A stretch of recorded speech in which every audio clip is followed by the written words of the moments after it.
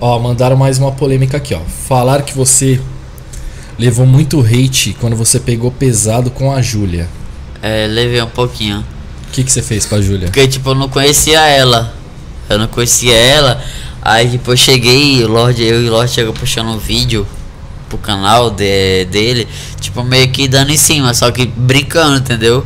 Achei voltado da casa do gato lá. Aí, tipo, eu não conhecia.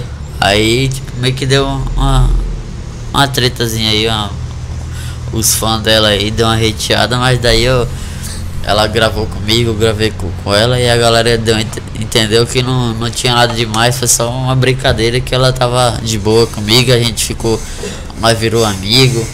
É isso aí.